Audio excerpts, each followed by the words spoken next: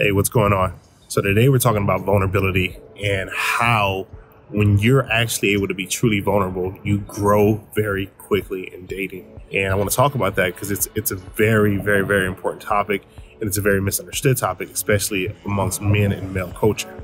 Generally, men think vulnerability means that you are a pussy, that you're weak, that you can't handle your emotions, that you're needy, and that you're a big baby. And in truth, that's not real vulnerability. That's neediness. Now, what's true vulnerability? Well, it's, you as a man being able to authentically speak your truth and not compromise your integrity for anyone else or any desired outcome. It's like when you go online dating, for instance, and you get a girl who asks you, "Oh, what is it that why you're on here? What are you looking for?" And a lot of times, guys will lie and fabricate in order to fit the frame of what the girl wants in order to get the girl. Very rarely does a guy actually go in there admitting that he wants a one night stand, he wants friends with benefits, he just wants to hook up, right? Whatever his reason is, maybe he just got out of a relationship, maybe he doesn't want to have a relationship for whatever odd reason, maybe that's just the way he rolls. But it's very authentic and it's very attractive when a guy can actually admit that that's what he wants. Now, because he's so honest, and authentic in himself, he will lose women because it's very polarizing, right? But that's the nature of polarity. If your if your goal is to go out and get sex and be able to have one night stands and be able to go out and just have fun and explore and experience sexuality and intimacy with women, and you admit that, you're going to run across girls who are not looking for that. And that's just the nature of the beast, and that's fine. Because you don't want to sacrifice your your polarizing ability in order to fit the frame of somebody who wants a relationship because you're going to be totally unhappy when you're not getting what you want first second date. Now the truly authentic guy because he's polarizing he will at some point run across that girl who's looking for the exact same thing. Maybe she just got out of a relationship. Maybe she doesn't have a desire to be with one person. Maybe she wants to go out there and explore too and when you find that person, it clicks and it feels so good and so right because you're not having to be, you're not having to beat around the bush, you're not having to lie, you're not having to play this game. And it's very authentic and polarized. Now, that's true authenticity, that's true vulnerability.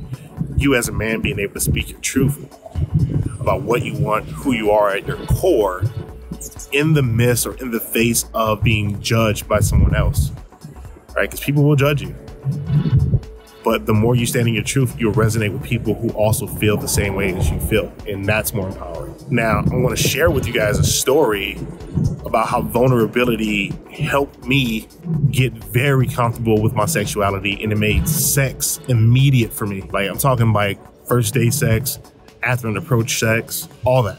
All right, I'll tell you a story about that in a second. But before we get into that, again, welcome to the channel. I'm glad to have you here. So I'm doing my own thing, but I'm still very much a part of Fearless. I want to make these videos that resonate with you in hopes to help you become a better dater, a better approacher, more confident, more masculine, and just more in tune with who you are as a dude.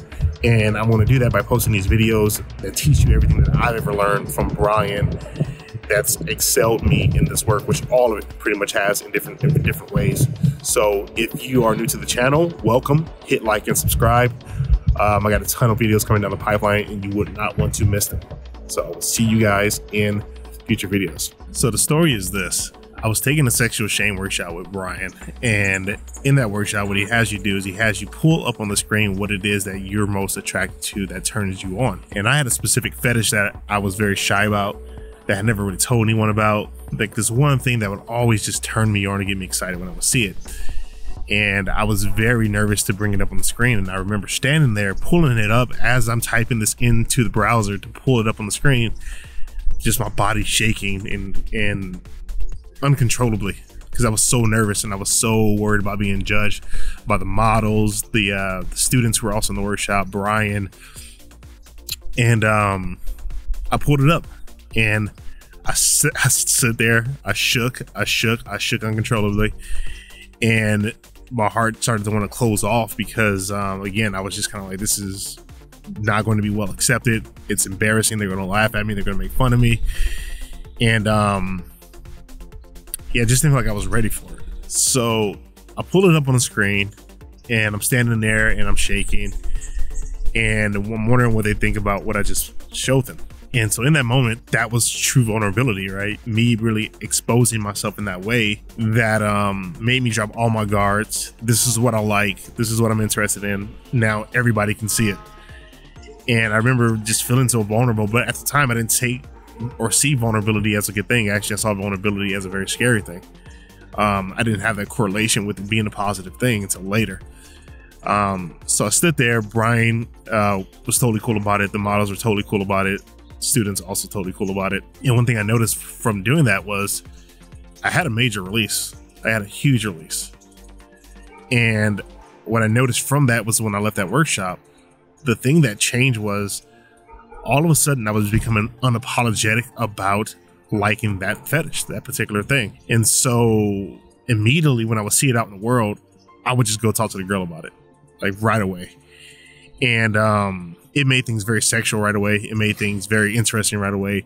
Girls would flirt right away. And it was just awesome. So I have the story that probably a week or two later after that workshop, we had going to Romania. And I remember um, I met a dating coach there, um, just someone I randomly met out in the street, and we were hanging out for a little bit, and then we uh, went to my place to hang out. Then we left. So probably about ten minutes away from my place is a um, a little wine bar, and there was this beautiful Romanian girl sitting at this wine bar. She was sexy, and I remember. So we both looked at each other, me and the guy, and we went over there to talk to her. So we hung out for a little bit.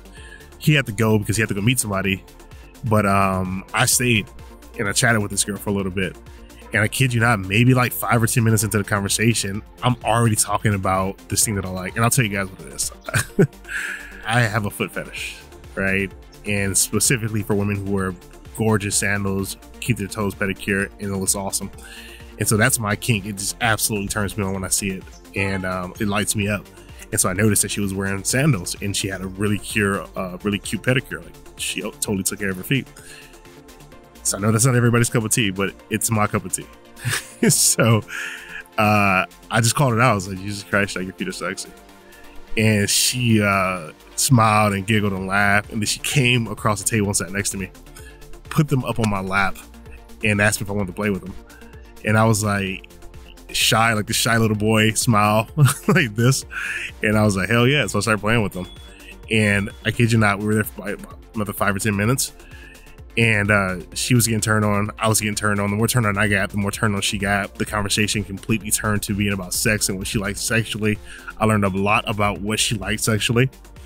We get up from there and we walk back to my place and we just go at each other hard. We're just going at it all that like maybe within like 30 minutes of meeting this girl. So I say all that to say that your vulnerability can absolutely accelerate your growth, especially in the area of being more confident, being more confident in who you are, being more real about who you are, being more real about what you like, what you don't like. And because you'll start speaking your truth more to women, women really get an idea of who you are. And a lot of women love guys who are vulnerable and honest like that. So I hope my story uh, helps you uh, when it comes to vulnerability and um, helps you lean more towards being vulnerable openly so that you guys can start to reap the benefits of that. So, anyways, guys, uh, post in the comments if uh, this helps you guys, if you want to see more content on this particular topic. And I will see you guys in next week's video. Remember, only the confident really live. Peace.